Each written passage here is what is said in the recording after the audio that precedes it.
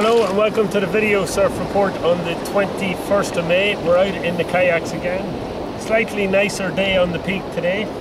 Um, it's about two foot and it's perfect glassy waves. So there's two surfers out and um, yeah, the surf report. Firstly, for the last week, it's been it's been really nice. Been really small, but it's been really nice. The peak has been kind of barely working, similar to what you see today, two foot, maybe three foot on some of the sets. But we've had a lot of good sessions on Tullan Strand this week, and it's been it's been really nice on Tullan. Some really good waves. Um, now, you're going to laugh at me, but we were actually after paddling out here, and I didn't look at the forecast for, for the coming week.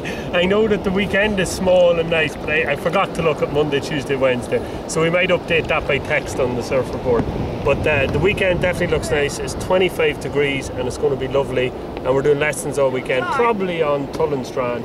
And um, we're looking forward to a bit of sun and a bit of heat over the weekend. Uh, compared to last week when we were out, it was freezing. This week we're in the shorties. The water's like a mirror, and the surf is just perfect, clean, two foot.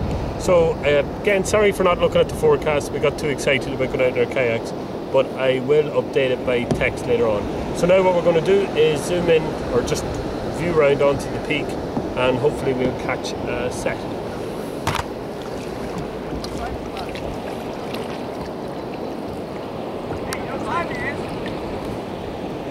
Quarter to ten.